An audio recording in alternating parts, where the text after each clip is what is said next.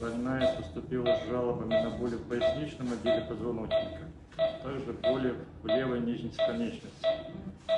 Боли беспокоят на протяжении длительного периода. В последнее время появились преобладание боли в области левой ягодичной области, левого бедра.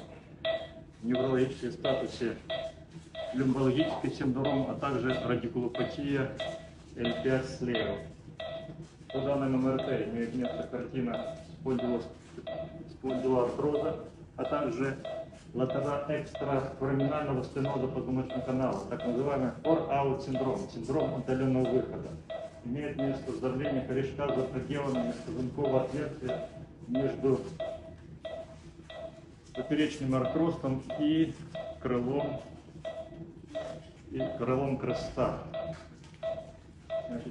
Данном случае первым этапом больной запланирована селективная блокада корешка L5 для купирования болевого синдрома в ноге, что мы сейчас планируем выполнить.